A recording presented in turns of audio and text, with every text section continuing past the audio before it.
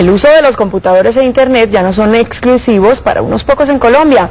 El Campus Party que se organiza en Bogotá no solo muestra los últimos adelantos en tecnología, sino que las personas que nunca han tenido acceso a un computador se pueden inscribir en las jornadas de inclusión digital y aprender a manejarlos. Ana María, ¿en qué consiste este programa del bautizo digital?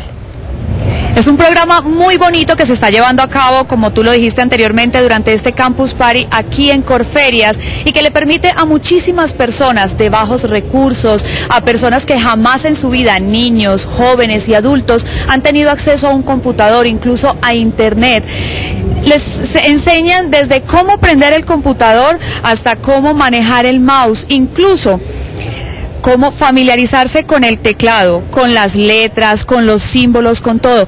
Este es el lugar donde todas estas personas pueden aprender sobre computadores y sobre Internet. Como estamos en hora de almuerzo, pues hay poca gente, pero esto vive a reventar. Tiene cupo para 150 personas. En este momento hay aproximadamente 50. Veamos un poco de cómo ha sido y cómo es este programa que se está, realizando, se está realizando durante el Campus Party que le permite a muchísimas personas ingresar a Internet, saber cómo se maneja un computador.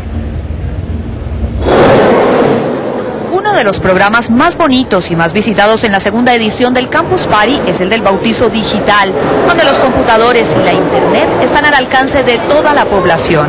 Es el primer encuentro que tiene la gente de la población vulnerable, de la tercera edad, y todo aquel que por cualquier circunstancia no ha tenido acceso a tecnología.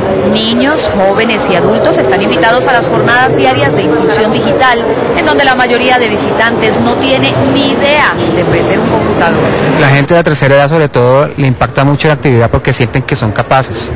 Ellos le tienen temor a los computadores, realmente miedo. Hay gente que le sudan las manos. Como el caso de la hermana Fidelina Payán, quien desde que se sentó en esa silla tiene claro qué ha sido lo más difícil de aprender. El movimiento del ratón. Difícil. Un poquito. ¿Por qué? Porque hay veces los nervios no me dejan. Pero poco a poco los nervios se van perdiendo, las manos dejan de sudar y de temblar y el mundo de los computadores se rinde a sus pies. He aprendido a entrar a, a internet, a buscar cualquier negocio, cualquier cosa que necesita uno en Google. Aunque muchas veces haya dudas. Ya aprendí a aprender el computador, a entrar a internet, a buscar cómo se busca un programa.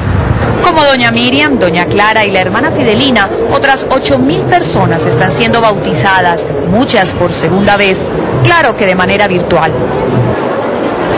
Este programa es un claro ejemplo de que este Campus Party, esta segunda versión, no es solo para las personas que saben de tecnología, también es muy importante para las que no tienen ni idea de nada que tenga que ver con tecnología, sistemas, computadores. En este Campus Party estamos viendo cómo por lo menos 8 mil personas van a ser bautizadas digitalmente, van a saber por lo menos prender el computador y entrar, ingresar a Internet. Está toda la información desde Corferias, Ana María Mejía, Noticias Caracol.